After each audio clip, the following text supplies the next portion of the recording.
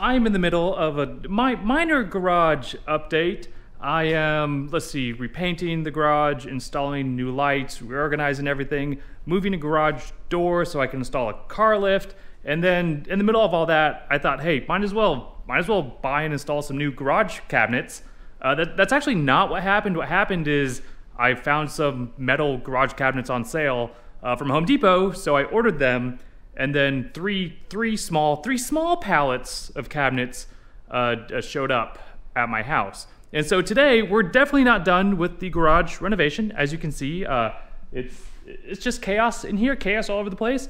But we are going to take a look at these cabinets. We're going to assemble these cabinets, and we're going to see if spending uh, way too much money on cabinets is worthwhile or not. So let's take a look at what I bought. Let's put them together, and then let's find out if I wasted my money.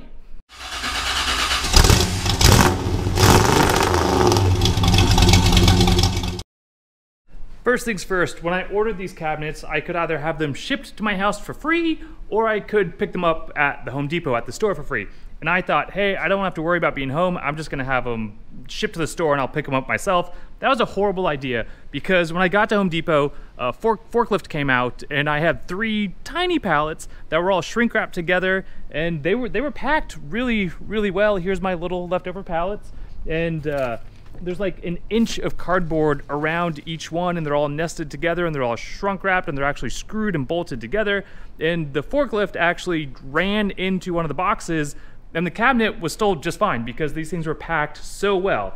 Uh, also they're, they're they're taller than i am and you know having them on a trailer behind my car in rush hour traffic was a little intimidating but they made it home. I got everything unpacked Somehow I got them um, unloaded out of the trailer by myself. I don't know, I don't know how that happened. Once I got everything in here, the first thing I did was start assembling and installing the taller upright cabinets.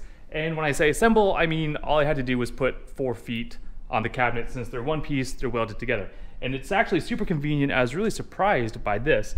But the feet, you screw them in from the bottom, but then you have these little Allen-headed adjustments in all four corners.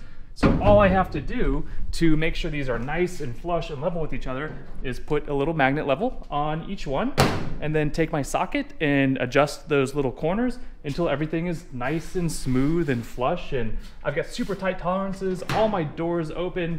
That has been super easy. So next is to assemble my lower cabinets and then hang and install my upper cabinets and then we have a workbench that goes over all of this which which I read the instructions and we're gonna have to get creative with the workbench because I'm not I'm not quite going to install them as as recommended by the manufacturer. So lower cabinets, upper cabinets, and then let's get creative, and then let's check out uh, the whole thing assembled and what I like about it and maybe what I don't like about it.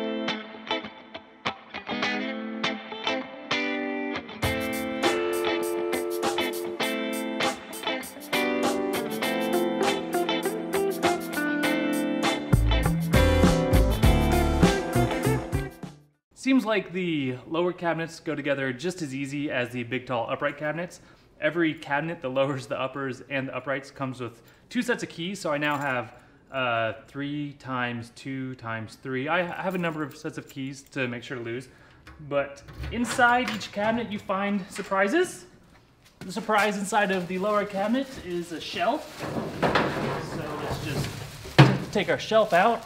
Inside the big upper cabinets, we had big boxes of parts. We've got some nice, some nice tray liners that we might use. We have a mounting bracket for the upper cabinets and a, a like clothes rod hanger. So I guess if you're using these in your closet, that's interesting. We have a nice set of parts, all nice and organized. And it even comes with a Allen key that goes into a drill because I guess they know that if you're installing big garage cabinets, you're probably using a drill and not one of those little, you know, one of these guys. And then right now, we're using our legs. So just like the uppers, we had four legs. Our lowers, we have four legs. Unfortunately, these ones, you have to adjust from the bottom. So just like the other two lower cabinets, I will screw these on. I will line them up on the wall. I will put my level on and then adjust my feet until everything's nice and level. Have the dogs been fed? The dogs have not been fed. Ooh, Murphy. I've been neglecting them for garage things. Want to try this? What is this? It's Is this booze? no. What do you think of uh, what we're doing here? It looks really good. Yeah? I'm very impressed. Fresh paint, fresh Yeah. cabinets, minor hole in the wall. Yeah. Oh, smash a fly. So here's the tricky thing that I haven't told them about yet, and I'm Oh. going to tell you, is these cabinets are installed, or they're made, bring you over this way. Okay. There's supposed to be a workbench that covers all these up, but the workbench actually mounts in between two of these vertical ones. Oh yeah. So uh, it actually hooks in right here. And so you're supposed to have like two cabinets and then a workbench and one cabinet. And I don't want to do that. Yeah. For one, I don't want like a random workbench over here and then my actual doing stuff workbench over there. Yeah. The plan is to put like the drill press and the bench grinder and the tools I'm always hauling down off the shelf like on this workbench to use. Um, so I kind of want like a caddy corner, two workbench setup situation. Yeah. And then two, I, I don't want to move these light switches Good. Yeah. because they're right in the way. Yeah. So I'm going to somehow have to finagle and jerry rig that workbench. I'm thinking I can like weld up something out of steel, and I might have just enough space to, like build a leg for this side of the workbench over here. I mean, I'm pretty good at welding. I can do it. You can do it. I can. You can do it, no It's problem. Um, so I'm going to try and put the upper cabinets on, Cool. and I didn't realize the garage door opener is going to be right in the way, so that might go live on the other side of the door. We'll see. Okay. Yeah. so good. And like open one, they're actually pretty hefty. Like, wow, right? Ooh, So much control. Hey, are these the same hinges as what we have in the Nook? They are. They are nice, soft, closed hinges, which are nicer than the hinges on our cabinets in our house that we've been switching out.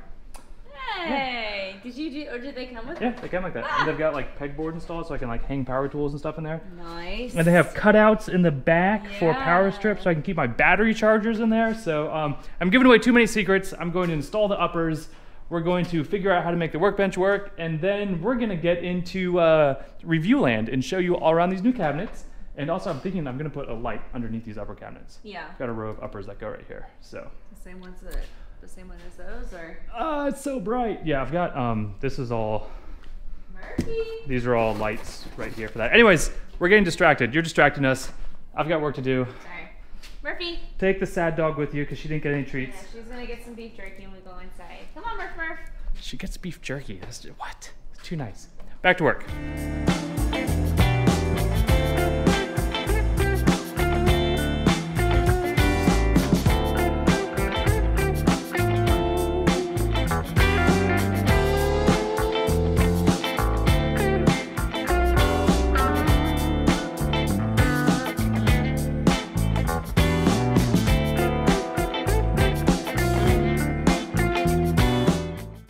Our lower and our upper cabinets are in.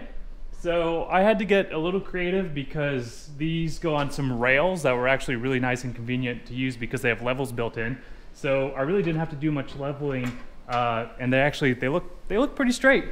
But the studs in the wall weren't exactly where I needed them, and I don't have a lot of space to play around with over here. So I put some wood boards on the wall, put the boards into the studs uh, with some lag bolts, and then put my rails on top of those boards. So I think I think it's gonna be fine. They're pretty sturdy, and really there's not gonna be a ton of heavy stuff going in there. And then down here, I put another board to screw the bottom of these cabinets into, and I let it overhang a little bit because I'm gonna put pegboard down here. and I need something to attach my pegboard to. On the workbench front, uh, I don't think I have enough clearance to build a little leg here, and this workbench isn't wide enough. So I'm probably gonna figure out a way to just attach that workbench directly to the top of those cabinets.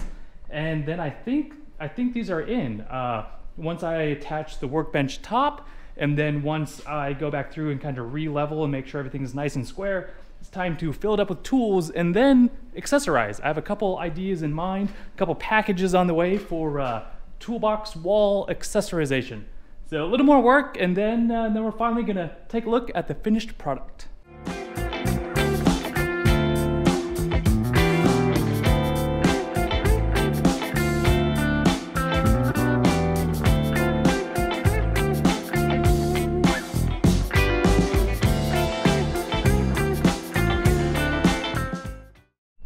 Update time. It's the night before this video comes out, so I'm frantically trying to finish getting this whole toolbox cabinet situation assembled. And apparently, here in North Texas, we are on the precipice.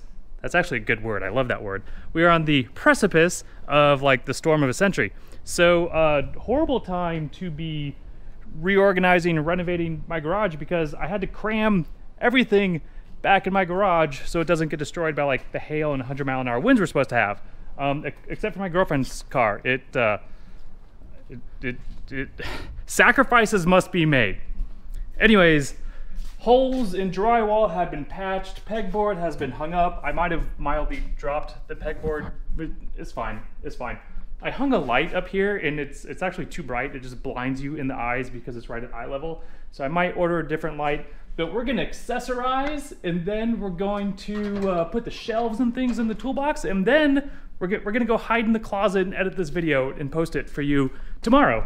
So a little bit more work and I will see you momentarily. Oh, don't mind me. I'm just installing the last shelf in my last cabinet because after three days, uh, maybe four days, I don't know, after many late nights, my my cabinets, my toolboxes, my my new garage organization organization.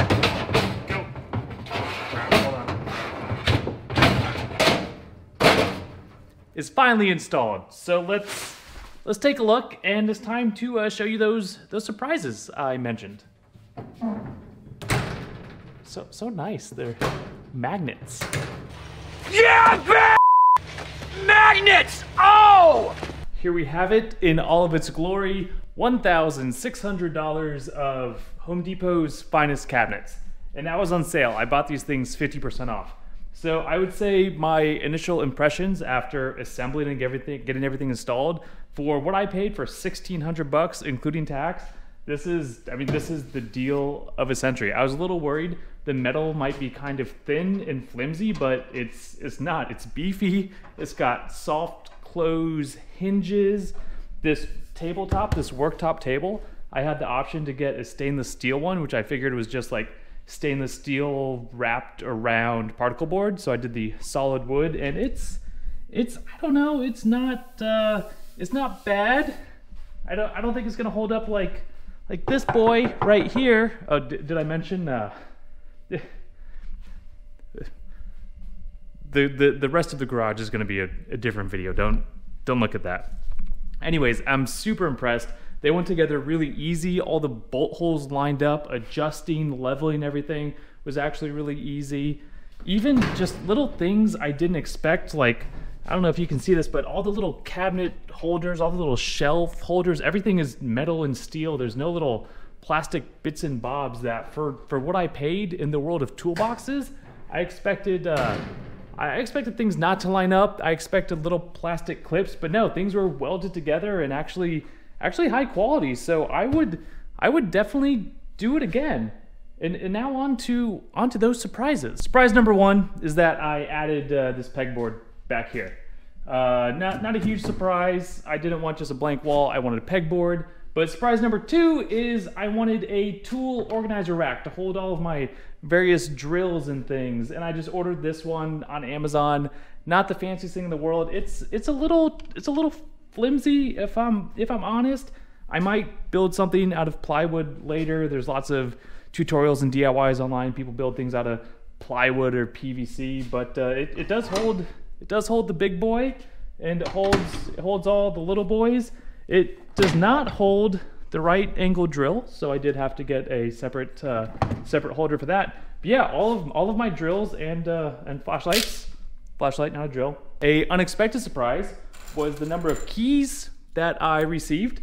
Uh, each cabinet came with two keys. So there's one, two, three, four, five, six, seven, eight, nine cabinets, two keys, 18 keys. Uh, they, they all have the exact same lock. So I have 18 of the exact same keys. So if you have a Husky Home Depot number 10 toolbox lock and you need anywhere between 1 and 17 keys, let me know because I have a few extras. Other surprise, I would say, is the number of spare parts that I have.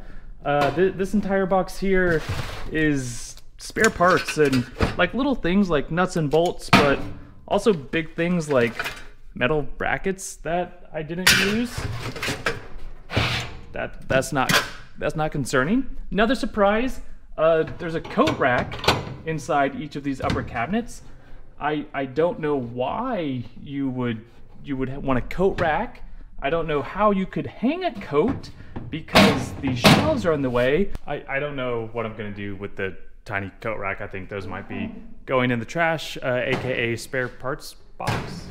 But uh, the last and most important surprise, and by surprise I just mean genius idea or thought that I had way to really utilize these new cabinets or toolboxes is uh, magnets. Yeah, And, and here's what I mean by magnets. So all my other toolboxes, I, I was smart and I was crafty and I was organized and I labeled them all very nicely. But over time, I reorganized and moved things around. And well, now uh, the, the tape drawer has clamps in it. Uh, the, the driver bits drawer has, has miscellaneous crap in it. And the miscellaneous crap drawer has mi- mis- miscellaneous crap. So uh, rather than have to print up labels, I bought some uh, magnetic dry erase labels. I have all sorts of different colors, they're all the same size, and with a simple dry erase marker, this can now be the miscellaneous crap drawer, and this can be the miscellaneous important tools drawer. But then if I get too much crap in this drawer, guess what? This is the miscellaneous crap drawer. So I think this is really going to help keep things organized, especially as I'm redoing the garage and things are things are going to move around a lot. And when I was in my magnet uh, purchasing spree, I also I also bought this. Let me take it out of the package and I'll show you what it is. Here, this out. It's another magnet, and it it doesn't doesn't quite fit, or I thought it would fit. So we're gonna have to we're gonna have to. Uh, gonna have to cut this down or find a different place for it. But uh, in my last garage, I had a whiteboard where I'd write down important things like what oil which cars took, or how much oil different cars took, or when the last time I changed the oil in a car was. Uh, mostly, I would just write down um, oil and oil filters. It, it was it was a whiteboard for keeping track of oil changes, basically because I, I can never remember what went in what car. So now I can list all the various decrepit cars in my decrepit fleet, what kind of oil they take, uh, what kind of filter they take, what the oil change interval is, and have all that information nice and handy. And, and I just a convenient place to put a whiteboard in my garage for taking notes and listing out parts and things that doesn't take up a lot of space because, well, it's on the side of my toolbox. And actually, now that I say that, I think it's gonna go, uh, look at that. It fits perfectly over here. So that is it. Those are my Husky toolboxes. Uh, I, th- I think I got a great deal on them. Um, if they were much more expensive, I'd probably go with something else, probably build my own cabinets, build my own shelves. I'll probably maybe have some different opinions once I finish the garage and start filling them up with tools and boxes of tools and once I get everything organized. Uh, speaking of the garage project, if you want to see how it turns out, uh, please please subscribe and follow along because if you look if you look at it from like this angle, I mean things are going good. It's nice, it's well lit, it's painted, it's clean. Um, the more we the more we pan around, there it's uh, chaos, chaos everywhere. I've got the car lift is going to go in here. I've already raised the garage door. I've already started repainting and rewiring some of this over here. Uh, so next is just move everything back out. It's all in here because we just had a big storm. But move everything back out, get rid of more stuff. I've been getting rid of a lot of stuff and just reorganize, finish the painting, finish the lighting, and then uh, and then maybe finish some projects once the garage is finished. Yeah, maybe I should be working on my projects and not the garage. Till next time, uh, maybe, maybe, maybe go finish your projects. Bye. Look, at this. I had enough keys to spell zero to awesome in keys. That's only if you use the number two and not the TO. To spell out zero to awesome, I would need to order at least three more toolboxes.